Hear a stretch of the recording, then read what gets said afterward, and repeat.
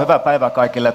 Tosiaan mulla on ollut viime maaliskuun alusta ollut ilo toimia Helsingin Biopankin vetäjänä ja, ja mulla itse, itselläni on henkilökohtainen suhde ollut, yhteistyösuhde työmerkeissä THL varmaan jo parinkymmenen vuoden ajan ja, ja ehkä biopankki-teemakin puitteissa 15 vuoden ajan. Ja, ja kun katson näitä THL datapolitiikan pointteja, niin, niin mä oon kyllä kokenut jo, jo hyvin pitkään, että THL on ainakin pyrkinyt toimimaan näiden, näiden pointtien mukaisesti ja, ja enemmissä määrin sitten viime vuosien aikana. Ja, ö, viimeistään tässä vaiheessa tosiaan on erittäin tervetullut, että THL on, on nämä periaatteet nyt kirjannut tällä tavalla datapolitiikansa muotoon.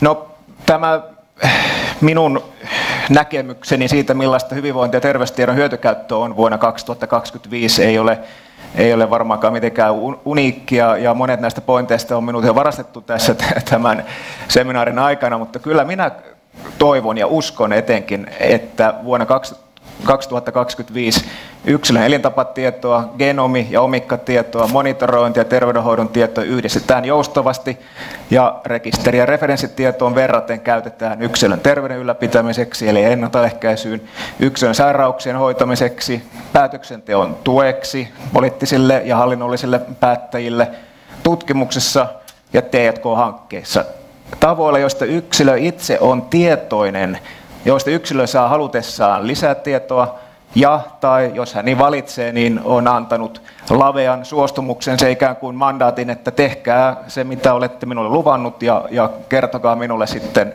kun homma on hoidettu, en ole siinä välissä kovin kiinnostunut yksityiskohdista. Kaikki nämä variaatiot pitäisi mahdollistua.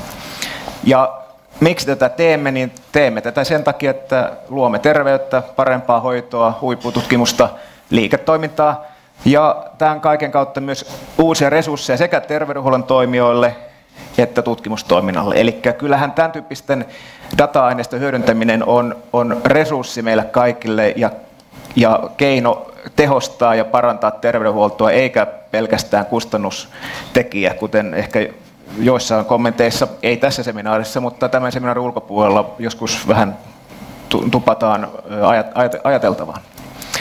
Mutta mitä sitten tämmöisen vision toteutumiseksi muun muassa tarvitaan? Tämä lista on varmasti aika paljon pidempi kuin nämä minun viisi pääpointtia.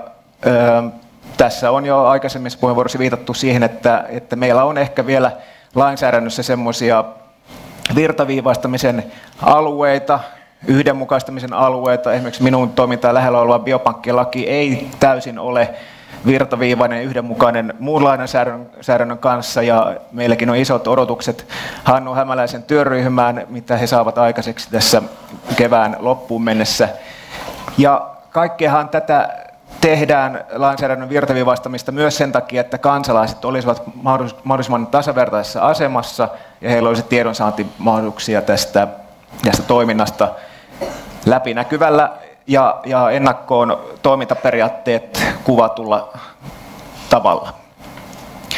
Ja itse asiassa tämän teolla datapolitiikan nyt tällä viimeisenä oleva, olevana läpileikkaavana toimina, eli yhteistyötyön olisin minäkin nostanut ihan oikeastaan tämän paperin tärkeimmäksi pointiksi ihan moneen eri suuntaan, varmasti niin kuin muiden rekisterinpitäjien suuntaan, ja myös sairaalabiopankkien suuntaan, jotka tietyllä tavalla ovat se, joista on ainakin mahdollista kehittää luukku sen sairaaladataan ja oikeastaan loppujen lopuksi monelta osin rekistereihin päätyvän datan niin kuin lähteelle, eli jossa on, on varmasti myös paljon rekistereihin päätyvän tiedon lisäksi olevaa hiljaista tai, tai, tai muihin järjestelmiin talletettua tietoa niistä samoista potilaista, jotka sitten semmoisella ylätason rekisteritietona päätyvät sinne rekisterien yksiköiksi.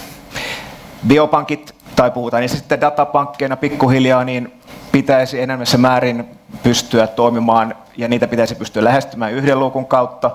Ja kyllä mä nostaisin tuon suomalaisen genomitiedon hallinnan kyllä ehkä THLkin kannalta varsin tärkeään rooliin Onko se sitten jonkinlaisen genomikeskuksen perustaminen, kuten genomistrategiassa on kuvailtu, vai, vai mikä se ratkaisu oli, mutta kyllä meidän täytyisi luoda kansallinen keino ja menettely ja, resurssit ja infrastruktuuri suomalaisen genomitiedon hallinnoimiseksi. Sitä ei ehkä tarvita yksilön terveydenhoitoon joka kerta hakea sieltä genomikeskuksesta, kun se voidaan uudestaankin määrittää aika helposti tulevaisuudessa, mutta tutkimuksen ja rekisteritutkimuksen kannalta niin kuin tarvittaisiin kyllä minun käsityksen mukaan joku paikka, missä se suomalainen genomitieto on. Mutta tosiaan sitten vielä näiden infrastruktuurityyppisten asioiden lisäksi, niin kyllä meidän pitäisi kiinnittää huomiota siihen, että me pystytään myös itse analysoimaan sitä dataa. Siihenkin täällä jo viitattiin, että ei myytäisi, myytäisi niin tukkeja tuolta metsästä, vaan myytäisi tyylihuonekaluja.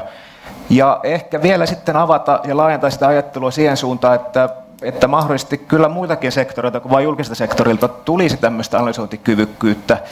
Eli pitäisikö meidän pyrkiä muodostamaan tämmöisiä innovaatioekosysteemejä, jotka, joihin eri sektoreiden, vähintään nyt kolmen eri sektorin toimijat tulevat yhteen tuoden sen oman kyvykkyytensä tämän kansallisen resurssin hyödyntämiseksi.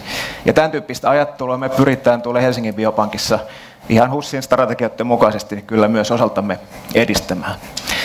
Ja ehkä sitten mä ihan alleviivasin tuohon sitten kyllä vielä sen, että se, mikä mun silmissä ehkä pikkusen nyt tästä Teholan-paperista vielä tänä päivänä puuttuu, on se, että kyllä meidän pitäisi kyetä nostaa yksilö kumppaniksi ja subjektiksi tähän, tähän toimintaan pelkän objektina olemisen ö, sijasta ja ainakin osittain tämän toiminnan keskiöön.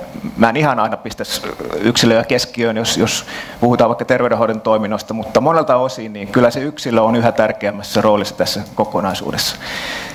Ja sitten ihan lopuksi mä kyllä peräänkuuluttaisin tämmöisen, no mä oon kirjoittanut strateginen tahtotila, mutta organisaatioiden, toimijoiden, meidän kaikkien yhteisen tahtotilan luomista ja myös kommunikointia ja jalkauttamasta tuonne terveydenhoidonkin yksiköihin tänä päivänä on vielä aika iso gappi sen välillä, mitä täällä tänään puhutaan, mitä HUSin yhtymähallinto esimerkiksi puhuu, mitä biopankkiirit puhuu ja miten sitten jokapäiväisessä kliinisessä työssä oleva kliinikko tosiaan, minkälaisena hän näkee tämän maailman tällä hetkellä. Mutta tässä nämä mun tärkeimmät pointit ja jatketaan keskustelua. Kiitos Kimmo. Ja tota, nyt